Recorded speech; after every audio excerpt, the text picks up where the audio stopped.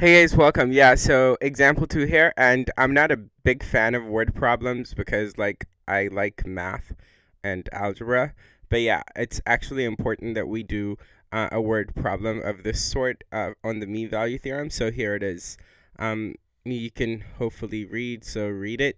But yeah, basically uh, a car's traveling, meaning velocity is this at 9, and then at 9.15 the velocity is this, and what we have to do is use the mean value theorem to show that uh, between 9 and 9.15 the car was accelerating, meaning the derivative of velocity was 24 miles per hour squared.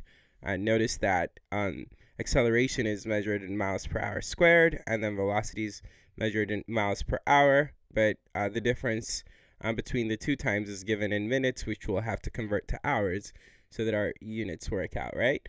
But yeah, um, the average velocity would be like velocity at 915 minus velocity at 9 divided by 915 minus 9. So this is like f of b minus f of a divided by b minus a, right? This is um, the slope of the secant line. And uh, if we simplify this first, plug in the given information.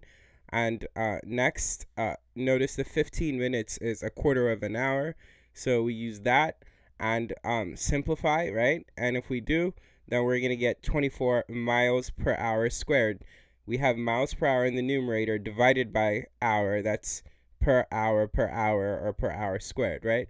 Okay, okay, okay. But yeah, this here, 24 miles per hour, which is uh, the average velocity between 9 and uh, 915, has to equal um, f prime of c, which in this case would be v prime of c, um, and so the acceleration for some point uh, c, which in this case would be sometime c between 9 and 9.15 as desired, or as required rather.